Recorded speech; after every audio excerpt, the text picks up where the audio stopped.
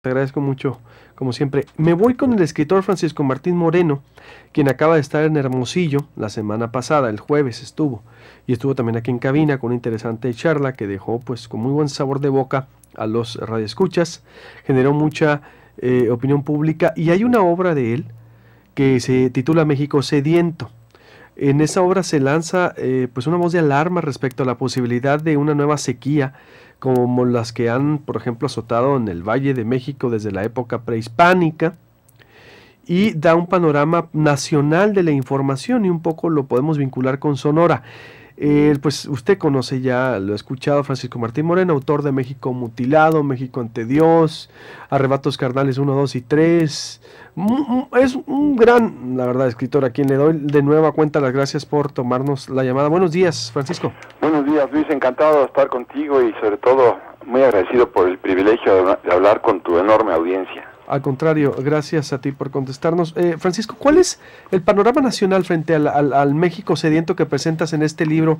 Y por, primero, bueno, obvio, ahorita te pregunto por qué hay que leerlo, pero ¿cuál es la valoración histórica frente a esta situación que Sonora tenemos cuatro años de lucha eh, política, jurídica, mediática y social por el agua, como estás eh, un poco enterado, pero tu valoración social nacional al respecto, ¿cuál sería? Mira, yo creo que quien, quien se oponga al, acueducto, yo ahora que acabo de estar allá, a lo mejor, tal vez estoy equivocado, pero le falta información histórica y le falta también eh, incluir una serie de factores de realidad. Yo cuando escribí México Sediento, eh, que como bigote llevaba eh, sequía, bueno, pues me puse a estudiar las sequías que habían azotado no solo a México, sino, sino al mundo entero y las consecuencias de una eh, falta de agua. las personas estamos acostumbrados, todos estamos acostumbrados a abrir la llave del grifo y, que salga agua, jalar la cadena y que se vacíe el excusado.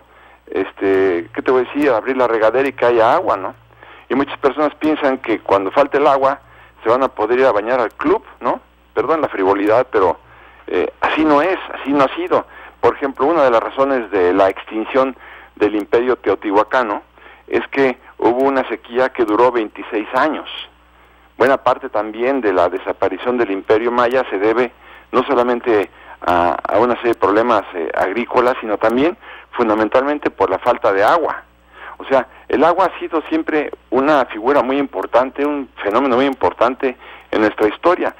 Si, si, si, si tú has visto, como lo has visto mil veces, eh, la, el Tlaloc, gigantesco que está a la entrada del Museo de Antropología e Historia, bueno, el Tlaloc estaba arriba de, del Templo de la Lluvia, a, la, a un lado del templo eh, de Huitzilopochtli, que era la deidad máxima de los aztecas. Ahí estaba la importancia de, del agua, la importancia de la lluvia. Bueno, porque era muy claro que a falta de lluvia eh, se, se producía la muerte, la muerte de todo, no nada más la muerte de los animales, sino viene en cadena. Bueno, cuando se acabe el agua, evidentemente, cuando deja de llover, como ha pasado tantas veces en la historia, y está pasando en este momento en Brasil, para no ir tan lejos, la sequía que está azotando Brasil es verdaderamente de horror. La sequía que está azotando en este momento en, en la África septentrional es de espanto. Bueno, entonces no veo por qué México, que también ya ha padecido sequías, va a poder quedar exento de esto. En la historia de la Ciudad de México ha habido por lo menos siete sequías verdaderamente espantosas y, que, y que provocaron miles y miles de muertes. La gente no asocia la sequía con la muerte. Pero bueno, lo importante es sí, sí poder hacerlo. Si tú ves, por ejemplo, todos los, muchos de los países de, del Mediterráneo del Norte, eh, y, y, sobre todo en Israel, pues ya han invertido cantidades gigantescas para potabilizar el agua, porque pues sabemos que Israel bueno, Israel, eh, Egipto tiene la ventaja de un Nilo, pero Siria no, y hay otros tantos países de África del Norte que tampoco tienen acceso a la ni a, ni a, ni a un río como el Nilo, ni tampoco a recursos importantes como para poder eh, eh, potabilizar el agua salada del Mediterráneo. Entonces, bueno, por aterrizar un poco ya el, tema, yo te diría que cuando me reuní durante dos años con ambientalistas, a las conclusiones a las que llegamos es que cuando se produce una sequía, baja catastróficamente los niveles de agua de las presas. Entonces, al bajar los niveles de las presas, de, inmediato se suspende la electricidad si estamos hablando de, presas eh, hidroeléctricas. Entonces, claro, se baja el nivel del agua, ya no hay la presión para mover las turbinas y entonces falta la luz. Y si falta la luz, tú tienes que sacar el agua, tienes que sacar las, eh, tus alimentos del refrigerador porque se pudren muy rápido, dado que se convierte en una caja húmeda en donde la putrefacción es muy acelerada. Entonces, ¿qué sucede? Y no quiero ser procas con este comentario, las personas eh, ya no van a poder desahogar sus excusados. Y si estamos hablando, por ejemplo, como en la Ciudad de México, que hay aproximadamente 12 millones de excusados, entonces podemos imaginarnos que la gente va a tener que hacer sus necesidades en la calle. Y si la gente hace las necesidades en la calle, lo cual también puede acontecer en Sonora, si, si no se hace el acueducto, entonces, o si no se concluye eficientemente el acueducto, la gente sale a hacer necesidades a las calles y entonces las moscas son los agentes patógenos más eficientes. Y entonces, ¿qué pasa? Que se contamina la comida. Y entonces, al contaminarse la comida, em, adviene ya entonces la peste, porque porque nadie tolera en ningún país una un centro infeccioso de esa naturaleza, como, como puede ser que toda una ciudad esté eh, llena de materia fecal. Entonces, sí que es un problema muy serio porque eh, yo llego a la conclusión también en mi libro de México Sediento, lo que acontece es que eh, la peste es terrible, la gente rompe las alcantarillas, saca agua de las alcantarillas en su desesperación, bebe esa agua o bebe agua de las fuentes, que las fuentes también ya están contaminadas, y entonces empiezan todas las, enfermedades estomacales que tú te puedas imaginar. Y entonces la catástrofe es inminente. Aquí en México, en la Ciudad de México, la, la, peste podría ocasionar que hasta los camiones de limpia del, departamento, del, del gobierno del Distrito Federal tuvieran que utilizarse para transportar cadáveres y entonces quemarlos en la Alameda para evitar una pestilencia todavía mayor y una, y una, y una epidemia de horror. Ya que estás con un enfoque escatológico, bueno, te refieres a, lo... bueno, de repente me, vino a la mente Albert Camus con la peste, pero no, la peste que era de las ratas con Albert Camus, pero aquí te refieres, te refieres ya con fétidos olores y con un eh, suministro de aguas eh, precisamente eh, fétidas para consumir. Estamos hablando de, literatura, ¿no? Ya, ya la novela que, que, mezcla el problema del agua con el México sediento. Sí, así es, es correcto, Luis. Lo que pasa es que, aun cuando es una novela, si, si tú ves la bibliografía, la, bibliografía la, trabajé con, con ambientalistas y, y, entre ellos y yo pues llegamos a la conclusión qué pasa cuando se acabe el agua. de ese panorama extremo, pues, pues, que pudiera suceder. Extremo, si tú jalas la cadena y ya no hay agua, abres la llave del lavabo y ya no hay agua, a ver, quiero ver, ¿qué van a hacer las personas que se niegan al acueducto, a lo mejor por un interés político inconfesable? ¿Qué van a hacer? ¿Qué, qué van a hacer eh, los sonorenses? ¿Qué van a hacer? Bueno, ¿qué te voy a decir? Este, los los, los tamaulipecos o los, o los regios. Que ¿Tú crees que en Sonora entonces sí fue correcto el acueducto? Es decir, fue una decisión que, que, que de, ese trasvase de agua tan polémico como decías, el, el, que está, el que se opone al acueducto es porque no conoce la historia o porque no conoce la realidad de Sonora.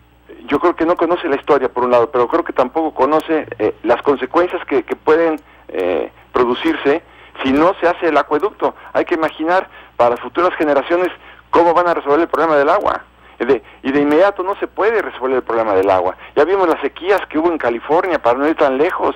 Estaban hasta pensando traer un iceberg jalado por barcos desde, desde eh, arriba, desde el eh, Pacífico del Norte. E, el, el, problema de la sequía en, en, California ha sido una de las peores pesadillas de los Estados Unidos. Entonces, de repente cuando se produce la sequía, porque también hay que pensar en esto, no es nada más que, que tengas el agua, sino, sino que, que, con el acueducto, sino que se pueda producir una sequía y ni con el acueducto. Pero más grave va a ser cuando no tengan el acueducto y venga la sequía.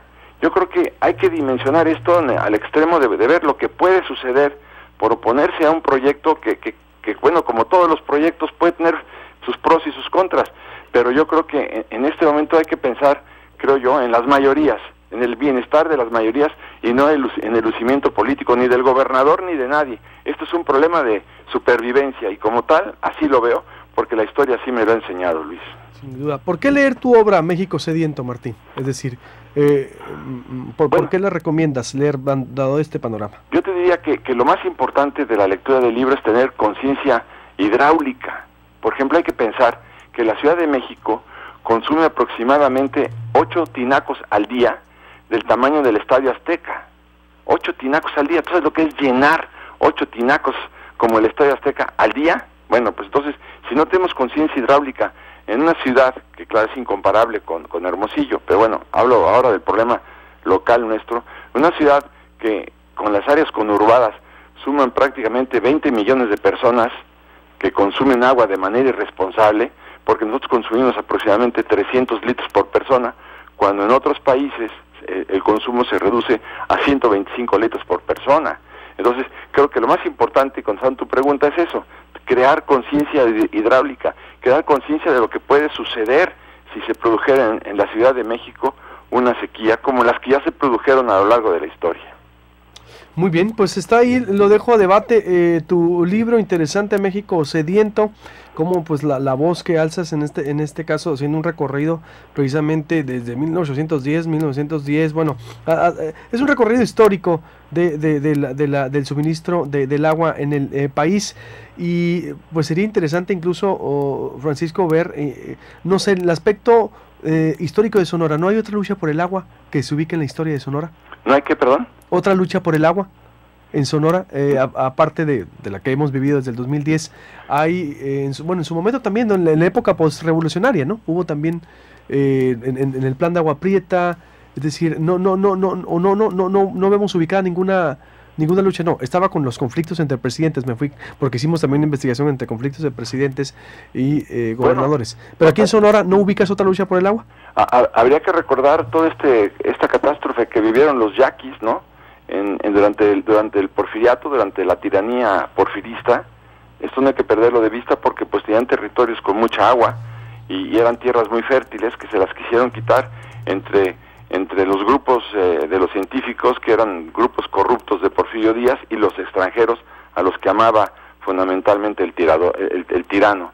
Entonces sí hubo una gran avidez y una gran ambición por apropiarse de esos terrenos y bueno, vimos este cómo los fue desmantelando Porfirio Díaz y, mandándolos a Yucatán para que en Yucatán pues, se murieran como moscas los yaquis, o sea que sí fue un crimen, ese sí que fue un crimen de Estado el que propició, precisamente también por la fertilidad y por la riqueza hidráulica de esa región, eh, eh, que, que, habitaban pues exitosamente los, los, eh, los, los indígenas. Creo que lo más importante hubiera sido ahí eh, ayudarlos a ellos, este, darles este, tecnologías, darles apoyo para que pudieran eh, eh, seguir con sus tierras y no robárselas de esa manera tan ruin como se dio durante los años del porfiriato. Pero después aquí en la época de los 70s, 80s, Sonora, bueno, en lo que fue KGM o Hermosillo, hay una costa Hermosillo que no se ha transparentado, por ejemplo, el uso de metros cúbicos de agua que hacen los empresarios de la costa o algunos otros enfoques que todavía faltarían ahí por abordar